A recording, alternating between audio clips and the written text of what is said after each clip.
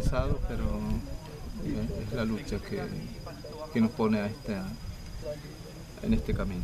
Félix, ahora que pasó esto, ¿no? Es decir, eh, lo- los, chicos están en, en su casa, este, tu hijo recuperó la conciencia, que era un tema que te preocupaba y mucho.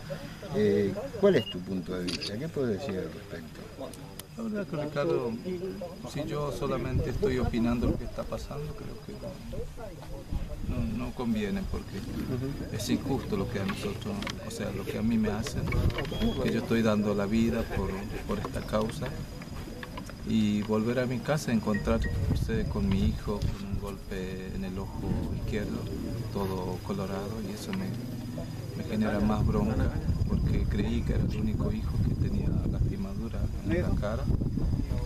Y, y esto me genera mucha impotencia para no, sé cómo salir del tema realmente eh, me siento muy muy dolido Muy dolido.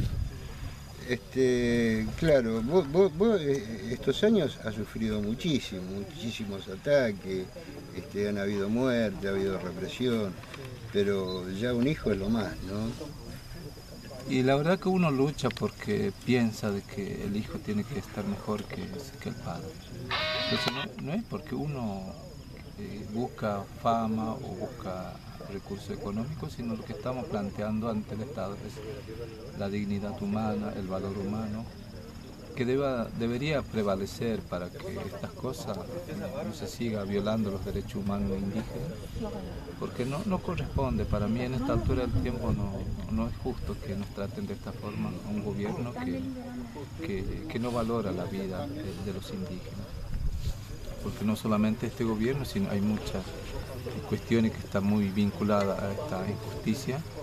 Están los jueces, eh, están eh, los medios, están eh, en todas El partes. defensor del pueblo. En todas partes está esta injusticia que padecemos y lo único que sabe es eh, justificar eh, a través de, de una cuestión como la borrachera, que muchas veces la culpa todos siempre tenemos nosotros porque somos borrachos, que en vez de buscar solución a este problema genera más problemas y encima nos denuncian por decir lo que, lo que nos pasa. Y eso a mí me, me genera mucha bronca porque no sé qué hacer Ricardo, porque me siento muy dolido, porque eh, me siento tan, eh, tan pequeño ante esta situación, ante un, a un gobernante que, que desprecia la vida del indígena. Y ese desprecio eh, está a la vista, el costo que, estoy llevando adelante, porque a mí me están atacando por todas partes. Pasear en la ciudad de capital de Formosa, encontrar en las paredes, decir, Félix Díaz, el profeta del odio. Entonces no sé, no sé qué, qué es lo que me están queriendo decir. Para que la gente me odie, para que la gente me, me dejen de respaldar. Por esa razón yo espero a mi comunidad de que es la que tiene que, que por lo menos generar esa, esa posibilidad de poder instalar el tema nuevamente en la discusión sobre mi liderazgo, porque no quiero sostener esta este liderazgo solo. Yo quiero la protección de mi gente, el acompañamiento, porque no es justo que yo estoy dando mi vida y después eh, quieren matar a mi hijo. Para mí no, no corresponde esa forma de, de luchar por algo que, que para mí es justo defender el derecho de mi gente, porque hemos sido eh, marginados muchísimos años y gracias a la lucha podemos tener agua, podemos tener vivienda, podemos eh, tener una pequeña radio, producto de la lucha. Aunque esas cosas no me alcanzan, pero me siento contento cuando le alcanza a mis hermanos que no encuentro más chicos acarreando bidones en la calle. Anteriormente era, era algo triste ver a una mujer acarreando agua de una distancia muy larga y en el pecho su bebé eh, y después tiene que llegar a su casa, no, no puede usar esa agua porque es para tomar. Entonces, gracias a la lucha creo que cambió esta historia. No es porque el gesto del gobierno pudo hacernos llegar el agua, sino mediante la lucha, la denuncia. Entonces, no puedo estar agradeciendo un gobierno que, que es el deber de un gobernante de, de garantizar el acceso al agua porque es un derecho humano corresponde al pueblo indígena. Feliz, a ver si entendí bien, porque esto realmente me impactó. Si vos no recibís el apoyo de tu comunidad, ¿estás dispuesto a dejar la lucha o yo entendí mal? Hay, hay un sector de la comunidad que está, me está atacando. Anoche salió en el canal 11 de Formosa, donde ellos denunciaban de que yo era mentiroso y, yo quiero eh, asegurar esto, que si la comunidad es mayoría la que piensa así, es mejor retirar de la lucha, porque no puedo estar eh, cuidándome la espalda con un hermano mismo, porque hay pariente que está dentro de esa oposición que hoy se instaló mediante eh, la migaja del Estado, prometiéndole sueldo, iglesias, cosas que le benefician a la familia y, no puedo estar así pensando, anteriormente yo me cuidaba de los criollos o de la policía, ahora están entre nosotros eh, ese peligro. Entonces es muy difícil eh, sostener esta lucha sin recursos, porque llegar hasta mi casa y mis hijos no tienen nada, no tenemos hierba, no tenemos ni siquiera para eh, compartir. Entonces, producto de esto, mi hijo va a estar en una situación de, precariedad y va a tener que estar en la cama por tres meses porque es, el, es la condición del tratamiento que tiene que cuidarse mucho porque el golpe que tuvo es muy fuerte que le puede dejar como una, eh, una epilepsia o y otras enfermedades riesgosas que puedan, convulsiones según me dijo los médicos. ¿Y cómo sostener esto? Cómo, mantener a mi familia si no tengo trabajo, no tengo ingresos, cómo, cómo sostener esta lucha, no puedo. Mientras que el resto está siendo espectador lo que, lo que a mí me pasa.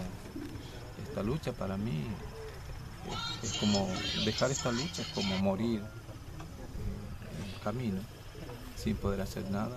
Entonces si la gente entiende que esta lucha es importante para todo el pueblo indígena, para toda la sociedad, y que la gente me ayude y que me muestre esa solidaridad a mi lado, no en hechos verbales que pueda decir adelante, estamos con vos en la distancia, no, soluciona el problema, porque la, solución de esto es hay que estar acá, acompañar a la gente, porque esta es una zona liberada para nosotros, no tenemos acceso a la justicia, no podemos denunciar y, el gobierno justifica que acá somos culpables, no, quiero seguir jugando el juego del gobierno de la provincia, eh, diciendo que somos los culpables. No, no admito eso, pero depende cómo eh, evalúa la comunidad de, esta decisión que estoy tomando, si hay un acompañamiento serio. Eh, yo quiero ver a mi gente que me cuiden, que me respalde y que esté conmigo en todos los momentos, no en este momento de, de urgencia, sino en todo tiempo para que cuide a mi hijo, cuide a mi familia, así porque yo viajo constantemente. Entonces, si yo estuviese lejos, ¿qué pasaría con mis hijos si están solos? ¿A quién podía acudir si no hay, si no hay nadie que pueda estar ahí en, eh, cuidándolos a mis hijos? No, no puedo, Ricardo.